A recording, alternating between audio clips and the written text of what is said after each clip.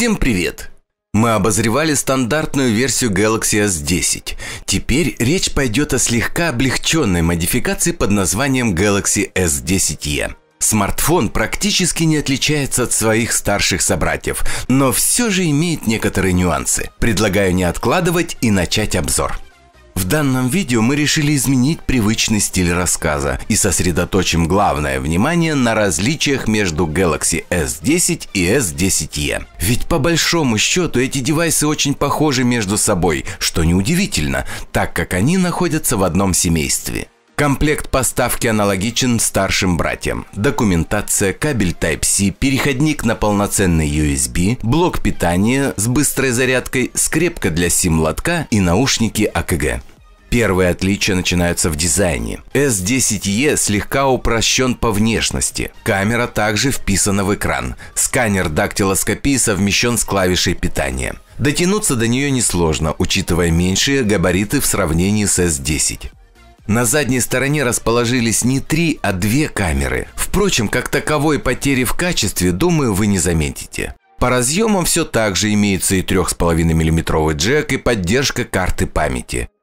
Собран смартфон без нареканий, никаких люфтов и скрипов. Стоит отметить также, что по сути S10e является конкурентом iPhone XR и потому получил яркие расцветки корпуса – желтый, зеленый и два классических. Второе, на что стоит обратить внимание, это экран. Матрица выполнена по технологии Dynamic AMOLED с поддержкой HDR10+. На практике это означает то, что производитель улучшил параметр защиты глаз от синего цвета и экран стал практически безвреден. Диагональ составляет 5,8 дюйма, а разрешение не Quad HD, а стандартный Full HD+, 2280 на 1080 точек. Напомним, что в S10 и S10 матрица с более высоким разрешением.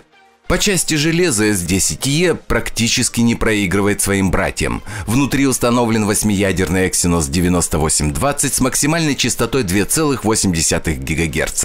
Оперативной памяти чуть поменьше – 6 ГБ вместо 8, а постоянный накопитель имеет объем 128 ГБ. Беспокоиться о производительности не стоит. 321 тысяча баллов в Antutu гораздо больше, чем у большинства аппаратов на рынке. Тротлинг и нагрев отсутствуют. Как сказано выше, S10e получил двойную основную камеру вместо трех модулей в S10 и S10+. В данном случае мы имеем 12-мегапиксельный сенсор с переменной диафрагмой от f1.5 до f2.4 и оптической стабилизацией. Второй широкоугольный сенсор на 16 мегапикселей с диафрагмой f2.2. По качеству фотографии и видео очень приличные. Если хотите немного сэкономить, то берите S10e, точно не пожалеете. Детализация и сочность картинки на высшем уровне. Фронтальная камера единственная на 10 мегапикселей. Фотографии также достаточно добротные, без явных минусов. По беспроводным модулям все отлично, поддерживаются все технологии, которые есть на рынке. Последним отличием от старших коллег можно считать меньшую емкость батареи. В S10e она всего 3100 мАч. Казалось бы, это совсем немного, но на практике это дает полный рабочий день при умеренных нагрузках. Плюс еще небольшой остаток в районе 15-20%. Уверенно можно сказать, что с утра до вечера девайс продержится в любом случае. Похвально, что компания не стала резать поддержку быстрой и беспроводной быстрой зарядки. Они, как и в случае с S10 и S10 Plus, присутствуют и позволяют существенно сократить время зарядки. Имеется также и беспроводная реверсивная зарядка. Подводя итоги, можно сказать, что если вы хотите немного сэкономить и при этом по-прежнему получить флагман, то не раздумывая берите S10e. Вы совершенно точно ни в чем не будете обделены.